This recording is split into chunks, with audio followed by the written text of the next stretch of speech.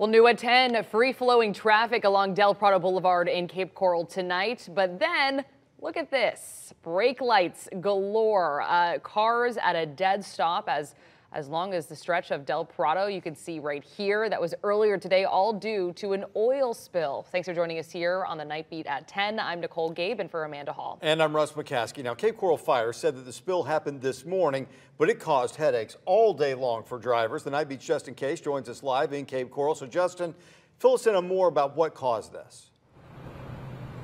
Well, crews from the Cape Coral Fire Department say the leak was likely hydraulic fluid, and they say the driver leaked that fluid for over a mile along Del Prado. And this stretch right here behind us, that was from Four Mile Cove Parkway all the way to Vizcaya Parkway. The battalion chief says those slick conditions caused at least one crash and caused a major headache for drivers for close to seven hours today.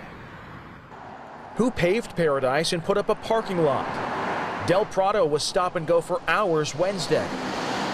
Cars and people were covered in these dusty conditions as street sweepers kicked up the materials used to absorb the leaked fluids, which were all over the roadway. Leaking it. On this road? One of these yeah. big trucks out here just leaking hydraulic fluid just, just to leak it. Crazy.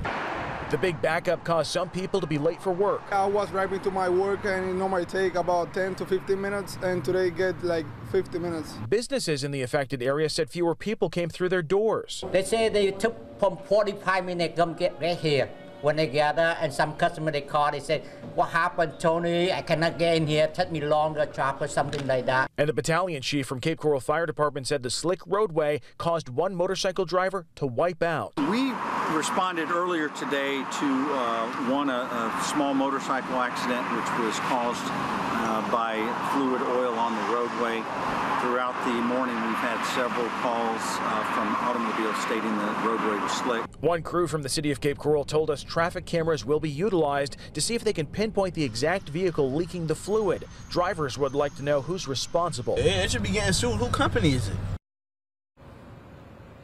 Now, this roadway was cleared just before 5 p.m. this afternoon, and some of the business owners were heavily affected. One business owner couldn't even get out of his business to get lunch today. He told us that he ordered delivery and tipped that driver extra today for braving all this extra traffic. Live on the night beat, Justin Case, Wink News.